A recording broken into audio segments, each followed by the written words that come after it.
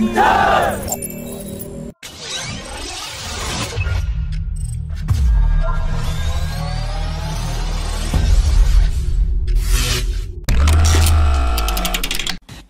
director of the Aeronautical Development Agency has confirmed that India is working on the development of a next generation automatic ground collision avoidance system, which will help to regain control of the aircraft in case the pilot loses consciousness.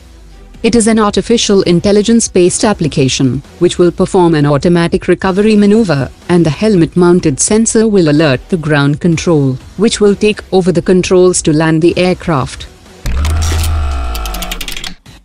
The Defense Ministry is set to take a decision on the $2.5 billion purchase of five regiments of self-propelled air defense systems for the Indian Army, after Russia strongly protested the selection of a South Korean manufacturer.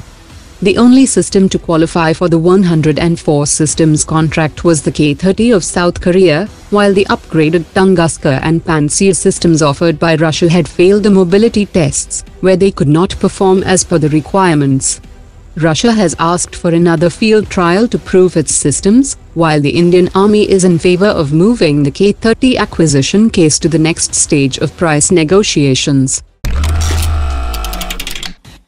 The Center for Artificial Intelligence and Robots is developing different models of mobile robots, which includes a four-wheeled robot that is designed to probe flat landscapes for the military, while the second is a mini unmanned ground vehicle that is designed for infiltrating buildings and surveying different floors.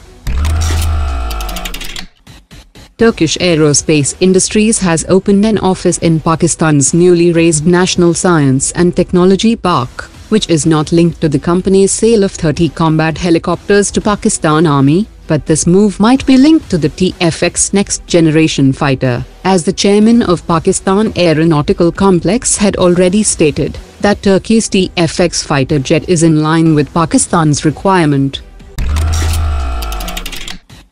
The National Aerospace Laboratory has said that the government needs to be the launch customer of the indigenously developed and built Saras Mark II aircraft and should place an order for at least 50 aircraft, as it is 25% cheaper than other aircraft in the same category.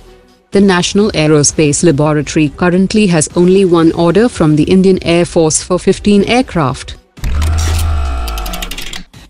India is planning to launch a new satellite series called the Indian Data Relay Satellite System, which is planned to track and be constantly in touch with Indian satellites.